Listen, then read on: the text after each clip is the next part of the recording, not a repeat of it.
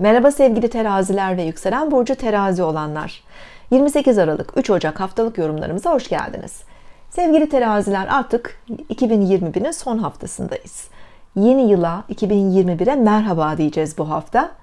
Yıllık yorumlarınız hazır. Henüz izlemediyseniz Astrofoni Demet Bağtacı YouTube kanalındaki 2021 yıllık videolarınızı lütfen izleyiniz sevgili teraziler ve yükselen teraziler.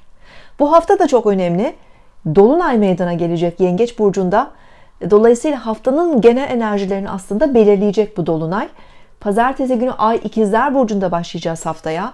Oldukça hareketli, dışa dönük, son derece zihinsel olarak da e, sizi destekleyecek bir ay geçişi. Pazartesi gününü, salı öğle saatlerine kadar olan bu süreci hem ilişkilerinizde hem de iş hayatınızda verimli değerlendirebilirsiniz.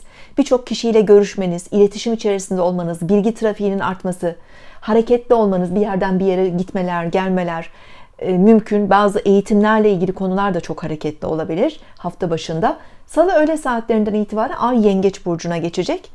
Çarşamba sabahı meydana geliyor. 30 Aralık'ta 8 derece Yengeç burcundaki dolunay ama 3 gün öncesi 3 gün sonrası tesirleri devam edecek ve en güçlü halini de gösterecek. Bu dolunay aslında sizin için önemli. Bu dolunay e, özellikle geleceğe dair plan ve programlarınızda, e, kariyer beklentilerinizde bazı aydınlanmalara neden olabilir. Toplum önünde biraz daha görünür olmanız, dikkat çekmeniz mümkün.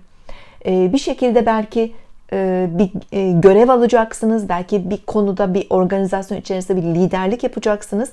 Ama bu dolunay sizi görünür hale getirecek. Maddi manevi başarılar da elde edebilirsiniz.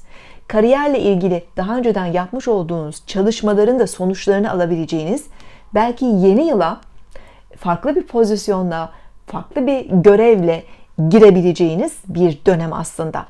E, yer değişimleri de olabilir. E, kariyer değişimleri de olabilir. E, aileyle ilgili konuların da çok aktifleştiği bir e, dolunay. Çünkü yengeç zaten aile ve duygusal konularla da ilgili. Ebeveynleriniz, anneniz, babanız, onlarla olan e, bağlantılarınız veya onlarla ilgili belli konuların gündeme gelebileceği bir süreç. Zaman zaman e, sevgili teraziler biraz aileyle iş hayatınızdaki, kariyer hayatınızdaki sorumluluklar arasında çelişkiler yaşayabilirsiniz. Yani her şeye yetişmekte zorlanabilirsiniz. Bunun üzerinizde biraz duygusal stresleri olabilir. Buna dikkat edin. Dolunaylar genel olarak bizi biraz zaman zaman e, strese sokabilir. Biraz duygusal baskıları arttırabilir iyi bir denge kurmamız gerekiyor. Hem kariyerimiz, sorumluluklarımız hem de aileyle ilgili alanlarda evimize ait e, meşguliyetlerimiz alanında dengeyi korumamız gereken bir haftada olacağız ama siz bunu gayet de güzel yapabilirsiniz ve destekler de alabilirsiniz özellikle ailenizden sevgili teraziler. Sağlıklı, mutlu bir hafta, güzel bir yıl diliyorum. Hoşçakalın.